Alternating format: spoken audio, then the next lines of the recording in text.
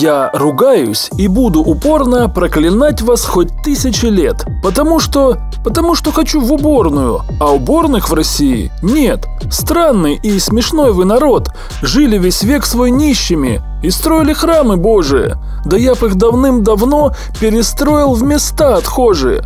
Это Сергей Есенин написал еще в 1920-х. А сегодня, спустя 100 лет в эпоху digital, Российская Федерация занимает первое место по доле населения без доступа к туалетам среди развитых стран. Зато Крым наш, скрепы, мифы о великих победах и особый русский путь. А уборных так и нет. В Ленинграде до середины 1960-х годов вообще не было канализации и сильно хромало водоснабжение. То есть в Древнем Риме 26 веков назад были и канализация, и водопровод, а в блистательном дореволюционном Санкт-Петербурге, а позже советском Ленинграде нет – Россия – империя фасадов. Эту фразу маркиза де Кюстина можно смело ставить эпиграфом к любым материалам о российском государстве. Россия – это сверкающий парадный подъезд со своей главной государствообразующей скрепой – выгребной ямой на заднем дворе. В середине 19 века в Петербург приехал граф Эссен Стенбак Фермер. Посмотрел, как в столице Российской империи моются из кувшинов и сделал первый водопровод на нескольких улицах. Вода подавалась водокачкой, стоявшей у Воскресенского моста. Но граф прогорел, потому что никто не хотел подключаться к этому водопроводу. К Первой мировой кое-какой частный небольшой водопровод наладили, но только в некоторые фешенебельные районы дворцов и дорогих доходных домов. Но и там воду брали из Невы, в которую все отходы избрасывали. В царский дворец шла вода со следами отсутствующей канализации всех фабрик, больниц и бань, что выше по течению. 1910 год. Царский врач, встревоженный появлением новых очагов холеры в столице, советует императрице Марии Федоровне обзавестись у себя в Анечковом дворце внутренней системой водоочистки и машиной для выделки льда – Сейчас, объясняет он, вся столовая посуда, промытая водой из кранов городского водопровода, покрыта бактериями всевозможных болезней, а особенно возвратного тифа. А на кухне используется лед, поступающий со склада у Таврического дворца, расположенного рядом с заразным отделом дворцового госпиталя. Оттуда привозится ежедневно два воза льду, причем даже по внешнему виду он грязен. Императрица внимательно читает доклад и дает согласие на установку очистной системы, но машина для выделки льда кажется ей совершенно ненужной. В Анечковом дворце продолжают пользоваться льдом из воды, смешанной с больничными отходами – Обитатели петербургских квартир выбрасывали мусор и отходы в две выкопанные во дворе отхожие ямы. Их стоки и внутренняя обшивка были деревянными, то есть проницаемыми, что позволяло сточным водам уходить в почву. Прочие нечистоты в 80% случаев прямо выливались в реки и каналы. И из этих же рек вода шла в пищу. И на них же купальни, бабы полощут белье, это Серебряный век, столица «великой» в кавычках России. С перманентной холерой и тифом, а не только хрустом французской булки, лакеями и юнкерами.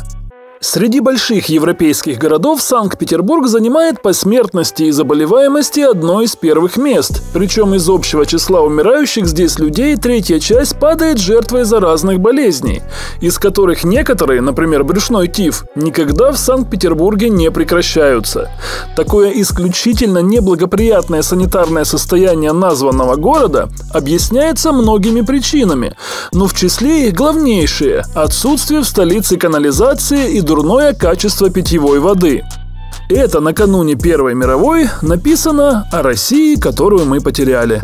Водоприемники городских водопроводов расположены на Неве и в ее рукавах в самой черте города. Причем выше водоприемников по течению расположены густонаселенные местности и целый ряд фабрик, заводов, бань и больниц, беспрепятственно спускающих свои отбросы в ту же Неву. Таким образом, накапливающиеся в Санкт-Петербурге нечистоты в сущности не удаляются, а совершают своего рода постоянный кругооборот из домов в Неву и из Невы по водопроводам обратно в квартиры обывателей. То есть водопровод и ватерклозет в некоторых дорогих домах были, а вода из труб в выгребную яму во дворе. Господа были в иллюзии, что живут в Европе, как бы при удобствах, а за фасадом та же выгребная яма и круговорот нечистот в природе. В 1916-м Дума решительно озаботилась санитарным состоянием города и намерена была приступить к строительству канализации. Но тут грянул 1917 Снова приступили в 1920-х, аж с деревянными трубами. Дореволюционный уровень подачи воды в городскую водопроводную сеть был достигнут лишь к 1935 году, а до революции этот уровень имели-то всего пара процентов горожан. Канализацию решили сделать для начала в одном отдельном районе на Васильевском острове. Строили 10 лет. Сточные воды сбрасывали без очистки в Невскую губу, то есть снова круговорот. Ну а дальше, к 1940-му, была разработана схема и утвержден план. Но настал 1941. В блокаду вышло из строя все то немногое, что было. В 1952 году Государственный комитет Совмина СССР утвердил проект строительства канализации в центральной части Ленинграда.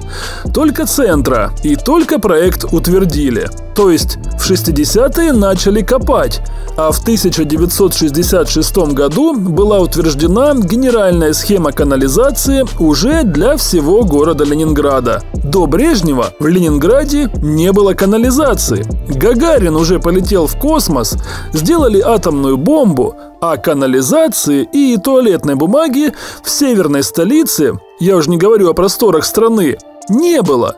То есть Блок, Ахматова, Мандельштам, Мариинский театр, Шостакович, Серебряный век – это все как бы само по себе, а во дворах выгребные ямы. Очищать сточные воды стали хоть как-то с 1978 года. Прагматичные скандинавы построили ленинградцам очистные сооружения, чтобы чистить там, откуда льется, а не у себя, куда приплывает. В 2012 году нефтяная смехдержава замахнулась аж на обеспечение услугами водоснабжения и канализации интенсивно развивающихся территорий на границе города и области. О как!